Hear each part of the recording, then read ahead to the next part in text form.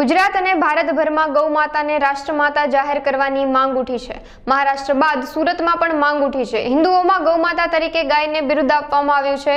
હિન્દુ સમાજમાં ગૌ માતા પૂજનીય છે. સરકાર ગૌ માતાને રાષ્ટ્રમાતા જાહેર કરે તેવી ગૌ પ્રેમીઓની માંગ છે. સુરત જિલ્લા કલેક્ટર કચેરીએ ગૌ પ્રેમીઓ માલધારી સમાજ અને અન્ય સંગઠનો દ્વારા આવેદનપત્ર પાઠવવામાં આવ્યું હતું. જે આજે કલેક્ટર કચેરી અમે ગૌ માતાને રાષ્ટ્રમાતા ઘોષિત કરવા માટેની રજૂઆત કરવા માટે આવ્યા છે.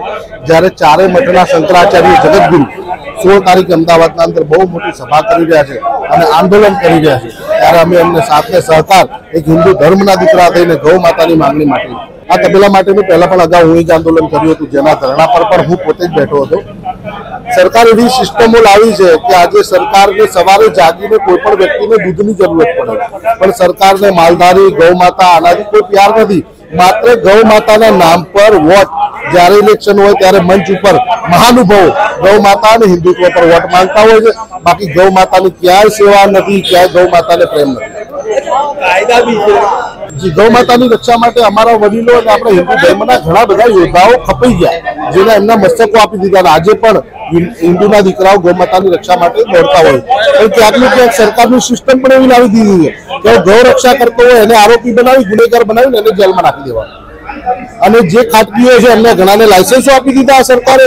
ઘણા બધા આજે કતલખાના બે નંબરમાં ચાલે છે. જે સરકારને ખબર છે, ખાતાને ખબર છે આ સિસ્ટમને. પણ પૈસાથી બધું ચાલે છે. અને એકલો યોદ્ધા જો લડવા જાય તો અહીંયા ખાટકીઓ પાસે હથિયાર હોય એ ચલાવે તો છૂટ છે અને ગૌ રક્ષક જો એમને રોકે ને તો ગૌ રક્ષક પાપી થઈ ગયું.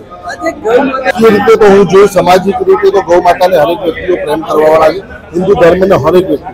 પણ રાજકીય ખાલી ગૌ માતાના નામ પર રોટલા શેકાતા હોય છે કે ગૌ માતાની સેવા થઈ એવું નથી જાણતું. આજે આપણા પીએમ વાર વાર તમે ટ્વીટ ઉપર ફેસબુક ઇન્સ્ટાગ્રામ પર જોતા હશો.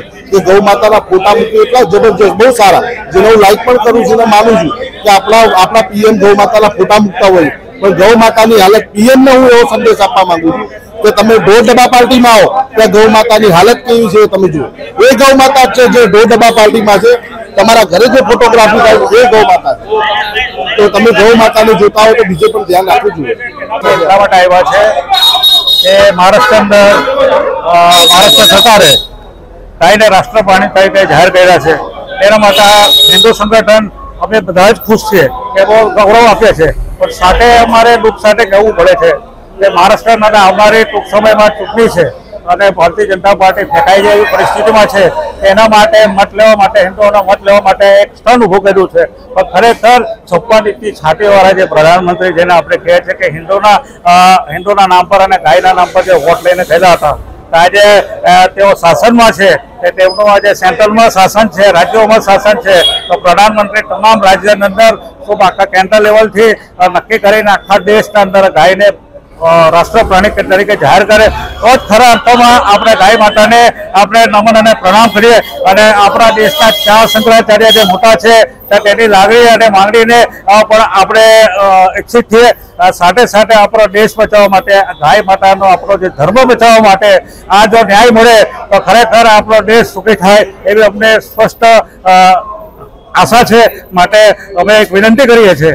કે જો આ દેશના અંદર ગાય માતાને પાણી જાહેર કરે અને ના કરવામાં આવે, તો હિન્દુ સંગઠનો તમામ એક થઈને, અમે તો ખરા જ હિન્દુ સંગઠનના, પણ બીજા બધા ધર્મના લોકો બી ગાય માતા માટે માંગણી કરી રહ્યા છે. એ બધા જ સમાજના સંગઠનોને સાથે રાખીને અમે દેશના અંદર આંદોલન ચાલુ રાખીશું અને એ બાબતે અમારી ન્યાયની પૂરી થશે, તો અમે કરતા રહીશું.